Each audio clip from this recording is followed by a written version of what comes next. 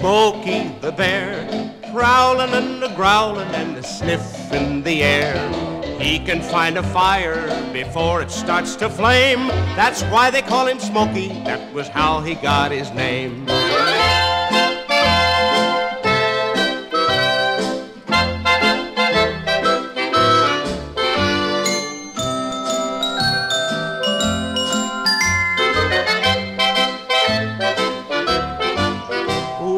Ranger's hat and shovel and a pair of dungarees.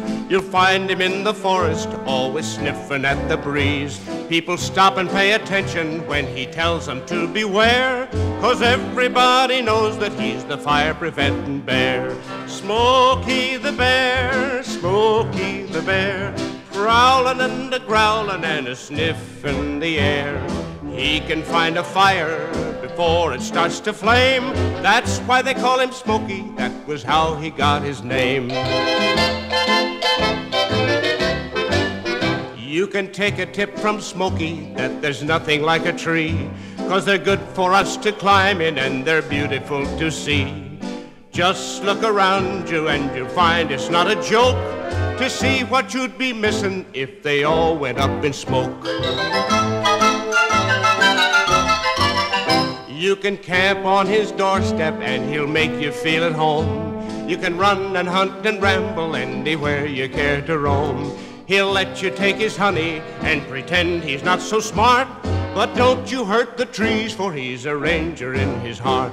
Smokey the bear, Smokey the bear, prowling and a growling and a sniff in the air.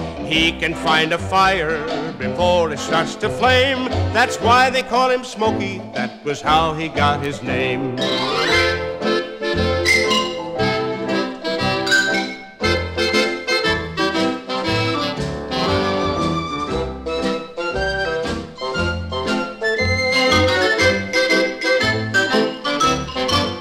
If you've ever seen the forest when a fire is running wild and you love the things within it like a mother loves her child, then you know why Smokey tells you when he sees you passing through. Remember, please be careful, it's the least you can do. Smokey the bear, Smokey the bear, prowling and a growling and a sniff in the air. He can find a fire before it starts to flame. That's why they call him Smokey. That was how he got his name.